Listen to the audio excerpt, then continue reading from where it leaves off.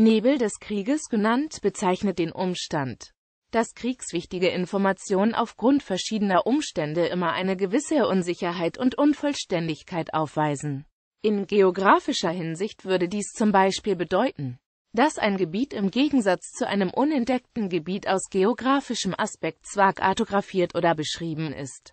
Weitere meist für das Militär wichtige Informationen jedoch fehlen. Militär Der Begriff des Nebels des Krieges taucht erstmals bei Karl von Clausewitz auf. In seinem Buch vom Kriege beschrieb er die strategische Notwendigkeit, Entscheidungen unter Zeitdruck mit unvollständigen Informationen nach bestem Wissen und Gewissen zu treffen. Computerspiele der Nebel des Krieges ist ein Konzept in Computerspielen, hauptsächlich Taktik- und Strategiespielen. Im Computerspieler-Jargon bedeutet es, dass Elemente bereits erkundeter Gebiete der Karte im Nachhinein wieder teilweise unsichtbar werden. Wenn diese Gebiete nicht mehr in den Sichtbereich der eigenen Einheiten und Gebäude fallen.